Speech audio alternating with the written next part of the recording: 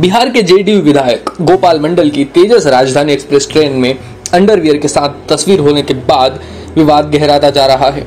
आरोप है कि चलती ट्रेन में उनकी इस हरकत पर आपत्ति जताने वाले एक व्यक्ति से उन्होंने गाली गलौज तक कर डाली। हालत बिगड़ने पर आरपीएफ को हस्तक्षेप तक करना पड़ा था। जेडीयू विधायक ने मामले की सफ़ाई दी है। उन्होंने मामले में एबीपी न्यूज़ से बात करते हुए सभी आरोपों को खारिज कर दिया।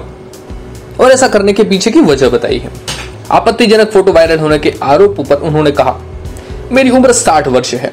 अपने डेरे में हम दो चार बार लेटरीन गए। फिर स्टेशन पर वेटिंग रूम में लेटरीन गए। फिर भी लेटरीन लगा हुआ था और हम चढ़ गए। यहाँ चढ़ते ही लेटरीन लग गया। यहाँ आते ही हम कुर्ता पायजामा खोले और गमछी कंधा पर डाले, लेकिन पहन नहीं पाए। लगा कि लेटरीन हो जाएगा, गिर जाएगा और फिर दिक्कत हो जाएगी। वो आगे कहते हैं, हम तेज़ी से निकल रहे थे। बगल वाले ने पूछा, कहाँ जा रहे हो आप? मैंने कहा, हम लेटरीन जा रहे हैं। तो उसने कहा कि, इस वेश में नहीं जा सकते। मैंने पूछा, क्यों? तो वो बोला कि, आप कपड़े पहनिए। अगर हम कपड़ा पहनते तो हमको लेटरीन हो जाता, दिक्कत हो जाती। इस दौरान विधायक ने महिला रिपोर्टर को अपने जंगिया की लंबाई भी दिखाई। जब रिपोर्टर ने उनसे अर्धनग्न अवस्था के बारे में सवाल किया तो उनका जवाब बेहद ही हास्यपद था। उन्होंने जंगिया की लंबाई दिखाते हुए कहा, ये देखिए, हमारा जंगिया यहाँ तक है। हम फुल वाला जंगिया पहनते हैं। उसको शॉर्ट पैंट माना जाता है। हम उसी जंगिया और बनियान में जा रहे थे। इधर कोई भी नहीं था, सिर्फ़ एक व्यक्ति ने हमें टोका। महिलाओं के असहज होने के बारे में सवाल करने पर उन्होंने कहा, यहाँ कोई महिला नहीं थी। और हमको इतना ज़ोर से लेटरीन लगा था कि कुछ याद ही नहीं रहा। लगा कि हो जाएगा, दिक्कत हो जाएगी, निकल जाएगा। हम दौड़ते हुए जा रहे थे। रोक कर उन्होंने डिस्टर्ब किया। लेटरीन से वापस लौटकर हमने पूछा कि, बोलिए बाबू उसी समय मेरा फ़ोटो और वीडियो लिया गया। हमने पूछा कि, बोलिए बाबू, क्या दिक्कत है? आप कौन है?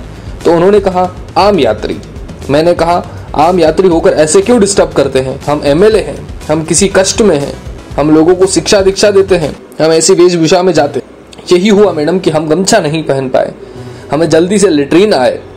तब मिजाज जाकर हमारा थोड़ा फ्रेश हुआ। टोकने पर धमकाने और गाली गलौज के आरोप पर विधायक ने कहा, हम किसी को नहीं धमकाए हैं। सिर्फ़ उसने ऐसा बोला कि आप ऐसा क्यों किए? उसी पर बकवास करने लगा। वहाँ पर कोई आम पब्लिक नहीं था। फिर उधर से पुलिस आई और उन्होंने बयान लिया, यह सब झूठा आरोप है।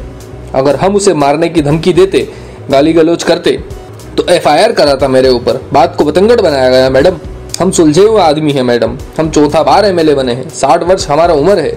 हम गलत नहीं कर सकते हैं। वहीं ट्रेन में सफ़र कर रहे एक अन्य व्यक्ति से जब इस बारे में पूछा गया तो उन्होंने कहा विधायक जी आए और उन्होंने जल्दी से कपड़ा उतारा। बाथरूम की तरफ़ भागे। मुझे लगता है कि उन्हें ख्याल भी नहीं रहा कि वो ट्रेन में सफ़र कर रहे हैं। इस दौरान एक यात्री बिना मतलब उनसे उलझ पड़ा। वह बदतमीजी से बात करने लगे। विधायक ने बोला, तुम्हें नहीं पता मैं कौन हूँ? मेरी उम्र तो देखो। तो उसने कहा, कि उम्र क्या देखे? आप नंगा घूम रहे हैं।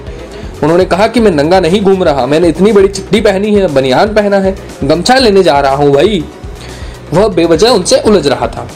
इससे पहले जेडीयू विधायक गोपाल मंडल ने समाचार एजेंसी एएनआई से बात करते हुए कहा था, वास्तव में मैं अंडरवियर और बनियान में था, क्योंकि जैसे ही मैं ट्रेन में चढ़ा और कुछ दूर गया तो मेरा पेट खराब था। मैं जो बोलता हूँ, सत्य बोलता हूँ, मैं झूठ बोलता ही नहीं हूँ। उल्लेखनीय है कि राजेंद्र नगर पटना से नई दिल्ली की तरफ़ जा रही तेजस राजधानी एक्सप्रेस में जेडीयू के विधायक गोपाल मंडल की यह हरकत सामने आई, जब कपड़ा उतार कर वो चलती ट्रेन में घूम रहे थे। गंजी और अंडरवेयर पहनकर टहल रहे थे। गोपाल मंडल के गंजी जंगिया में देखकर कोच में मौजूद दूसरे पैसेंजर्स ने कड़ी आपत्ति जताई, जिसके बाद चलती ट्रेन में कोच के अंदर जमकर हंगामा हुआ।